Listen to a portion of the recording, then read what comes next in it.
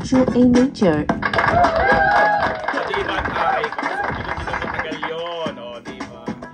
Oh, pagkatapos nga nating may podcast dito, yung issue tungkol kay Yasi Pressman on her having uh, uh, mga mga legit bachelors na mga high profile. Tari ni, ni Yasi Pressman na, di ba yung mga kay Sandro Marcos, Congressman Sandro Marcos na eventually nagsalita na rin itong si Alexa Miho na friends lang sila. Although for the longest time sila yung naliling tapos may issue pa nga ginagamit nila ang mga mga private na mga mga government uh, helicopter ba or whatever. But anyway ibang issue. Basta si Yasa pag-uusapan natin ngayon. And then si Yasi na uh, may picture din nakasama niya si Brian Paulia Manzares.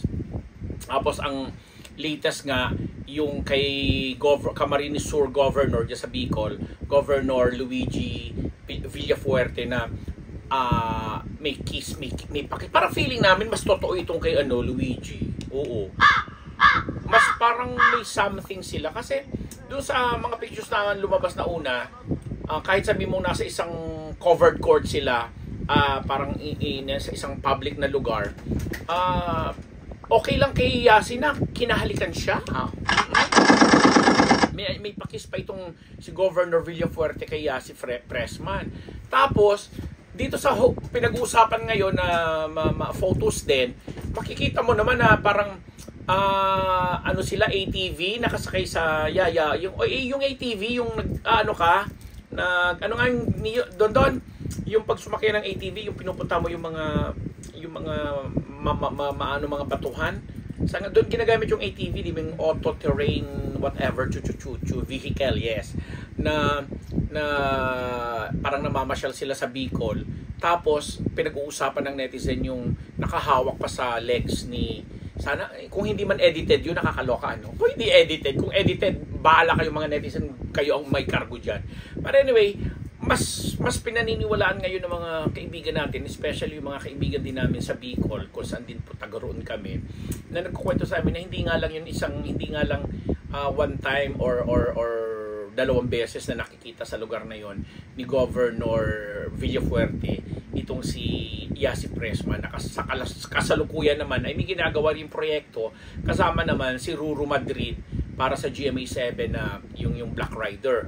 Uh, lahat ng ito ay nagkasunod-sunod ang paglabas sa social media uh, dahil doon sa usaping nakipag-break na siya doon sa kanyang dating boyfriend, isang basketballista at Canadian negosyante, Canadian film, uh, Canadian film, Canadian Pinoy na si uh, John Simera, 'di ba? So naglabasan nga yung pati nga yung nag-viral din nga yung uh, biglang pagsulpot uli nung engagement uh, ano nila engagement uh, video na lahat nakasentro at nagtatanong bakit hindi natuloy yung kasalan at uwi nga sa hiwalayan. Diba?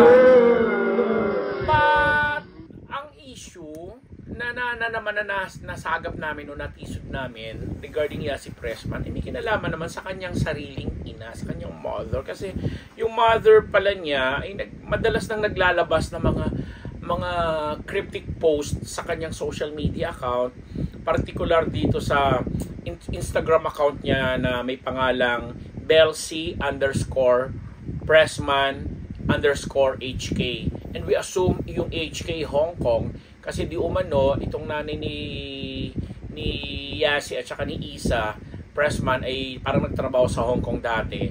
Tapos nag-i-emote ito, may mga emote ito, may mga mensahe na tila may mga patama sa kanyang anak. At mapapansin, napansin ng mga netizen na si si Yasi ay hindi naka-subscribe or hindi hindi nag-subscribe dun sa uh, sa account ng kanyang nanay. Pero yung kapatid niyang si Isa naka-subscribe naman. Si Isa po ito po yung napapabalitang uh, girlfriend naman ni James Reid di ba? Na na laging sumasama sa kanila at may mga emote-emote sarili. Um, uh, ano to, ang sinasabi dito, parang hindi hindi masyadong pinapansin ng ni, ni, ni ng mga anak niya kasi wag nating i-single out si Yasi ano kasi nakalagay naman doon is parang mas mas okay pa raw uh, ano sabi doon uh, uh, may patama siya na sinabi niya may mga anak na mahusay makisama sa barkada pero sa sariling magulang hindi marunong gumalang. Pakalo. Mismo sa, sa sana sa mga makakapanood sa atin at gustong tingnan nyo, tingnan nyo po yan dun sa IG account ng isang Belsi underscore, underscore Pressman underscore HK na sinasabing nanay ni na Yasi at saka ni Isa. At may nakita din nga namin dun yung mga old photos din na mga baby pa sila, na kasakasama, binabati ng Happy Mother's Day, etc. etc. Pero maraming na intriga dito sa isa sa mga late, latest post ni uh, Miss uh, Belsi na sinasabi nga niyang may mga anak na mahusay do makisama sa barkada pero sa sariling magulang hindi marunong kumalang. Ay nako, maraming na intriga doon sa post na yon. Tapos isa-isa tuloy hinahanap nila. Oo nga naman, bakit parating puro tatay na lang nilang kanilang sinasabi, kinikwento sa mga sa kanilang mga showbiz uh, interviews, etc. etc. So, yun lang. Ayaw na naming mangialam kasi usapang nanay yan. Ang ganda pa naman ng background ko. Oh. Ang aking background na mother and child. Na usapang nanay yan. Hindi natin alam ang pulot dulo ng mga istorya dyan, ng mga kwento dyan. But still, uh, nagiging issue kasi nga celebrity itong si Yasi, celebrity itong kapatid niya. At may mga ganong uh, cryptic post itong nanay nila na siyempre ina-assume ng lahat patungkol doon sa mga anak niyang celebrities. And nagkataon na itong si Yasi din ay marami ring mga mga sighting ngayon, marami ring mga pinag-uusapan ng mga nagba-viral na mga videos, photos na nililink siya or nai-involve sa mga masasabi nating mga eligible bachelors na mga oh, hindi naman top of the line, yung mga high profile kumbaga. So, hindi natin alam kung anong anong klasing ehemplo, anong klasing imahe ang ipinapakita or branding na pinapakita sa atin ito ni ni Yasi. But eh, yun ang nagiging imahe niya ngayon sa showbiz. Tapos dadagdagan pa nitong ganitong issue tungkol sa kanyang nanay. Eh, kaya siguro uh, again, sinasabi natin, hindi tayo nandito sa Unbettable Channel para manghusga or para, para laitin siya or what. Kasi hindi naman natin alam ang buong kwento, ang totoong kwento. But still, ako bilang isang may nanay din at anak din po ako, kahit ano pang issue yan or what, hindi ko siguro kayang uh, gawin. Ilalabas ko muna si Iyasi rito ha. Uh, ako sa, sa sarili ko to ha.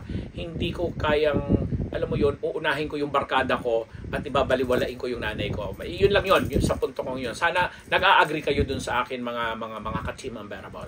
'Di ba? Kaya nga ako bilib na bilib kay Jake Cuenca. Again, kaibigan natin si Jake Cuenca. Hi.